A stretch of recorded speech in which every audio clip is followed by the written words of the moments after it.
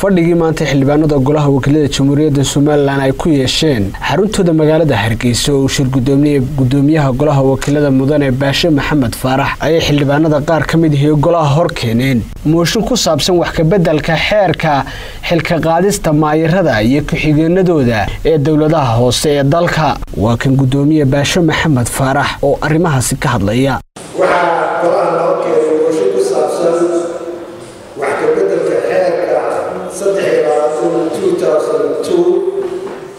oo ku saabsan in wax laga bedelo xilka qaadista duqa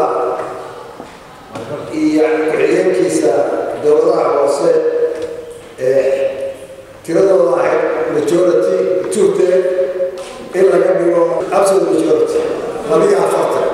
Mooshinka xildhibaanadii wada seexay waa buuxaa waxaa loo gudbinaynaa wataliyaha sharciga dakhliga shiidaalka waxaa ahay guddida dhaqaalaha xeerkii qandaraasyada qaranka waxaa ahay guddida ilaalinta hantida qaranka.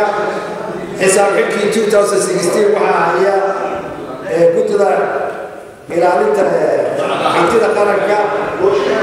Xeerkii qurbajoogta waxaa ay guddida arrimaha dibadda.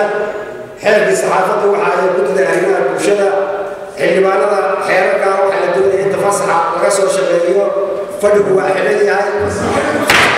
fadhigan maanta ee golaha wakiilada ay ku yeesheen xaruntooda magaalada hargeysa ayaa waxa uu waxa uu gebagabo u ahaa kala fadhigii shan iyo soddonaad ee golaha wakiilada jamhuuriyadda somalilan xamse caydiid maxamed telefishinka qaranka somalilan magaalada hargeysa